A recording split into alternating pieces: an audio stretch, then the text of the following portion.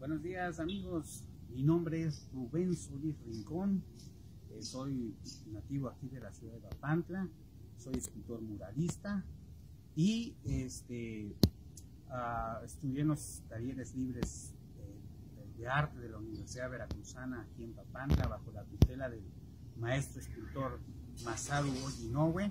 Eh, estuve con él muy, eh, como 12 años, de alumno, y bueno, en un momento de mi vida yo empecé a forjar ya mi propia eh, carrera como escultor y hoy les quiero mostrar lo que he este, hecho, gracias a Dios, a través de varios años, este, mis trabajos, obras. Eh, me gusta plasmar eh, a Papantla, los Papantlas de, los, a, de Papantla, mostrar a Papantla uh, cómo era en la época antigua. ¿sí? Entonces no solo será a, través de fotografías, sino eh, llevarlos a través de la, del relieve, de la pintura. Este, entonces es una forma de, de, de, de expresarme y este, pues yo los invito, les agradezco mucho que me acompañen en este video. Y bueno, una de las obras que yo tengo a, a mis espaldas es un mural que estoy haciendo en, en proceso, ¿sí? Como pueden ustedes ver, es uh, panorámica de Papantla de los años 30. ¿sí? Eh, es básicamente, estamos en la calle eh, Vista Hermosa, ¿sí? y vemos lo que antes eh, era Papantla de en aquella época, pero visto desde, desde esta misma calle, calle Vista Hermosa, ¿sí? como podemos ver, es el Parque Central. Como yo les comento, ese es un mural que todavía está en proceso. Sí, es un mural que todavía. y que eh, considero yo que en aproximadamente mes y medio eh, puede que esté terminado. ¿sí? Entonces aquí tenemos lo que es el parque, lo que antes era el Mercado La Galera, Mercado La Galera, ¿sí? La iglesia que es muy tradicional, típica aquí de Papantla, ¿sí? que todavía está en proceso de elaboración, ¿sí? lo que es ahorita la, también la, la muy conocida uh, Casa, casa Telles también todavía hace falta. ¿no? Pero básicamente la, la, idea en este mural, como en otros murales, es plasmar ¿sí? y dar a conocer a las nuevas generaciones cómo era Papantla eh, de los años 30, los años 20. ¿sí? Entonces, básicamente esa es la, la, la idea y aquí podemos ver este, parte más de, de, del mural, ¿sí? Eh, lo, que, eh, lo que hoy, hoy es el mercado Juárez, antes era el Parque Juárez, y, eh, donde se tendía vainilla, ¿sí? la famosa Casa Chena, ¿sí? Y bueno, eh, toda esa parte está en proceso, todavía no está terminado, está en proceso, tenemos, está en colores que le llamamos colores de fondo, ¿sí? seguimos recorriendo, ¿sí? podemos llegar a lo que es hoy, lo que es este, en esta parte, lo que es ese edificio eh, de cuatro, que aquí de cuatro, eh, que todavía no está terminado, de cuatro puertas, que todavía no está terminado, que hoy es la ganadera, hoy es la ganadera, ¿sí? Este, antes era una veterinaria, y bueno, todo esto seguimos recorriendo, y antes en esta parte que había mucha vegetación. Todo este mural está hecho en, material de cemento. ¿Por qué? Porque está en la intemperie y para que tenga mayor resistencia con el paso del tiempo. ¿sí? Pero también tiene uh, eh, partes que son materiales como fibra de vidrio y resina. ¿Cuál? Esta, estas piezas, estas casas que van a ser una tienda, ustedes se dan cuenta que está hueco por dentro Obviamente con el cemento es muy difícil lograr este efecto. Entonces aquí es donde entra la, resina, ¿sí? Este, es, estructuralmente, estructuralmente es, muy fuerte, ¿sí? Y este, aquí va a llevar lo que, aquí va a representar lo que era una tienda de aquella época. Eh, este, este mural se compone de diferentes materiales, cemento, eh, resina, uh, pasta automotriz, ¿sí? todos esos materiales se conjugan para poder armar este, este, este mural y que la gente lo pueda disfrutar. Bueno amigos, pues bienvenidos nuevamente. Estamos aquí en el eh, restaurante Naku, ¿sí?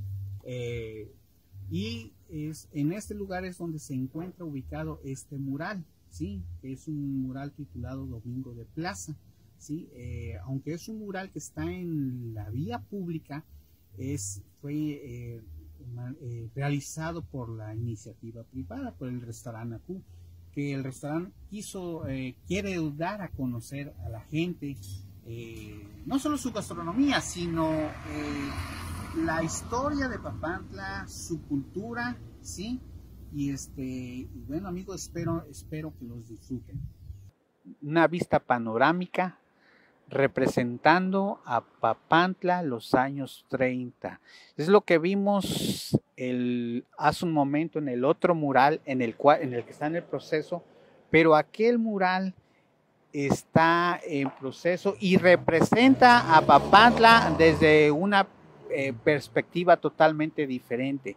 Aquí lo que queremos representar es a, Papantla, es de una vista panorámica para que la gente tenga una mejor idea de cómo se veía Papantla. Es un tipo vista aérea, aunque en aquellos tiempos todavía no existían eh, las fotografías aéreas, ¿sí? Pero bueno, se logró eh, hacer un conjunto de fotografías para poder lograr este, este efecto, ¿no? Entonces vemos lo que hasta el día de hoy es tradicional, que la gente vaya al parque el día domingo, las, las danzas de los guaguas, de los negritos, de los santiagueros, ¿sí? Para, y la gente todavía la costumbre de traer la gente de comunidades a vender sus productos del campo, ¿sí? muchas costumbres hasta el día de hoy se llegan a conservar. Eh, transportes, también el transporte que hoy, hoy se sigue utilizando, ya en poca eh, manera, pero se sigue utilizando, que es el burro, el animal de carga, ¿sí? que antes era un eh, medio de transporte totalmente eficaz. ¿sí?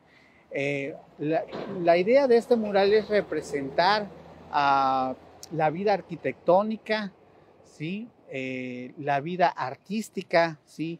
Y sobre todo eh, recordar aquellos ayeres de los vainillales. Podemos ver allá arriba en la Casa Chena lo que hoy es, eh, frente a lo que hoy es el Mercado Juárez, vainillales. Sí, por eso se tendían los vainillales sobre la calle a, secar la, la, vainilla y ah, despedía un aroma totalmente agradable y de ahí surge esa famosa frase que dice Papandla que perfuma al mundo. Y podemos ver su parque central, eh, muy con el piso típico de aquella época, que era piso de barro, ¿sí? ¿sí? Y que en aquel tiempo era llamado como el, Parque Francisco y Madero, no era el Parque Israel Cetellis, ¿no? Con el tiempo se cambió. Hoy podemos este, apreciar también las refresquerías, las famosas refresquerías que están en, en, en la que estaban en la esquina de un parque. ¿sí? Y este, podemos también apreciar este, eh, ahorita lo que es la Casa Tremari, la muy famosa Casa Tremari, ¿sí? y muchos edificios que todavía hasta el día de hoy eh, permanecen en pie. ¿sí? Y este, este mural básicamente es representar la vida, ¿sí? la, la vida de Papantla de aquella época.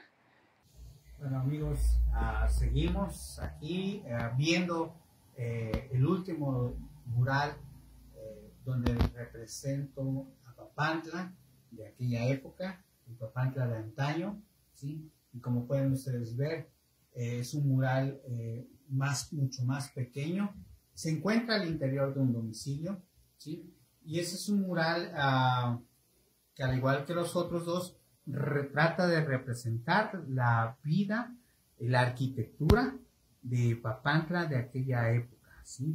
Y ese es uno de los murales que, hice en mis primeros años como escultor. más o menos lo hice en el 2004, 2005. ¿sí? Y es un mural que hasta el día de hoy, gracias a Dios, se sigue conservando. ¿sí? e igual la temática es la misma, es Papantla ¿sí? Y la vida, ¿sí? Entonces, este mural está, este, como yo se lo mencioné hace un momento, en el interior de una casa. Yo espero sea de su agrado, ¿sí? Y quiero agradecer eh, al ingeniero Antonio Rico por habernos dado la oportunidad de eh, mostrarnos su mural, ¿sí? Y agradecerles a ustedes por su atención y agradecer al Instituto Veracruzano eh, de Cultura por todo el tiempo que han dedicado para ver mis obras. Les agradezco mucho.